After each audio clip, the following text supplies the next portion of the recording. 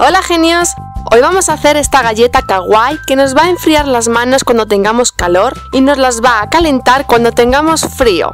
Si quieres saber cómo es posible esto, no te pierdas el vídeo. Para hacerlo con forma de galleta utilizaré esta plantilla. Simplemente dibujé un círculo, le hice los ojos, la boca y los círculos que representarán a las pepitas de chocolate. Pero tú puedes hacerlo con la forma que quieras. Para hacerlo vamos a necesitar fieltro o paño lenzi. Si no tienes puedes sustituirlo por tela. Y vamos a hacer dos círculos de fieltro del mismo tamaño que nuestra plantilla. Aquí yo he dejado este espacio pero no es necesario porque luego lo voy a recortar. Y de fieltro también tenemos que hacer todos los demás adornos. Los pasos son sencillos. Si lo quieres utilizar para darte calor, tendrás que coser cada pieza. Si lo vais a usar solamente para daros frío, podéis pegar las piezas con silicona fría o caliente. Vamos a comenzar cosiendo todos los adornos sobre uno de los círculos de fieltro. Si no sabes coser no pasa nada, fíjate en cómo lo hago yo, solamente tienes que dar unas puntadas muy sencillas. Y si eres pequeño, mejor que te lo haga un adulto para que no te pinches con la aguja.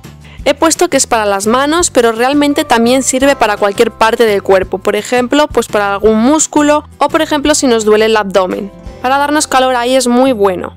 O la espalda, pues según necesitemos aplicarnos frío o calor, pues esto es bueno para eso. Y de esta manera tendremos que ir cosiendo todas las piezas.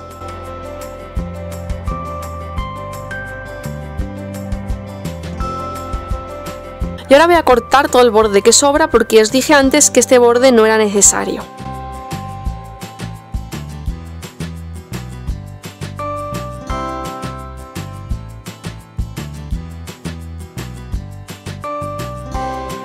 Juntamos estas dos piezas y vamos a coserlas por todo el contorno, pero no vamos a coserlas hasta el final, vamos a dejar un espacio sin coser.